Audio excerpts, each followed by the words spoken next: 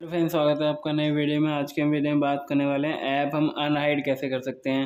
यानी कि आपके जो ऐप हाइड हो रखे हैं, उसको हम अनहाइड कैसे कर सकते हैं, इसके बारे में बताने वाला हूँ। तो चलिए फ्रेंड्स, वीडियो को शुरू करते हैं। वीडियो को शुरू करने से पहले अगर आप चैनल पर नए हैं तो चैनल को सब्सक्राइब और वीडियो को लाइक कर दीजिए। फ्रेंड जैसे कि आप देख सकते हैं, मेरे पास ये रियल का फ़ोन है और आपको सबसे पहले क्या करना है, सेटिंग पर क्लिक करना है। तो क्लिक कर लेंगे। सेटिंग पर क्लिक करते ही आपको इस तरीके का आइकन शो करेगा। यहाँ पर आपको क्या करना होगा? थोड़ा सा ऊपर की साइड स्क्रॉल करना है और पासवर्ड वाले प्राइवेसी वाले ऑप्शन पर क्लिक करना है। प्राइवेसी वाले ऑप्शन पर क्लिक करते ही आपको इस तरीके का आइकन शो करेगा। यहाँ पर आपको क्या करना होगा? हाइड ऐप्स पर क्लिक करना है। क्लिक करते ही आपको यहाँ पर क्या करना होगा? प्राइवेसी पासवर्ड पर क्लिक करना है। यानी कि प्राइवेसी पासवर्ड डालना है आपको। प्राइवेसी पासवर्ड डालते ही आपको ऊपर की साइड ही शो हो जाएँगे। जैसे कि आपके जो ऐप्स हाइड हो रखे हैं।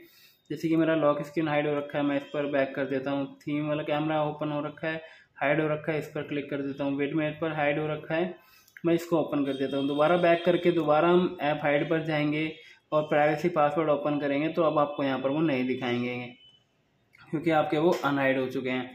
तो ये आप देख सकते हैं, मेरा ये आ गया है विडमेट आ गया है, और ये वाला कैमरा आ गया है। तो उम्मीद है फ्रेंड्स आपको वीडियो पसंद आएगी वीडियो पसंद आए तो चैनल को सब्सक्राइब कर वीडियो को लाइक कर दीजिए। मिलते हैं नेक्स्ट वीडियो में, तब तक के लिए नमस्कार।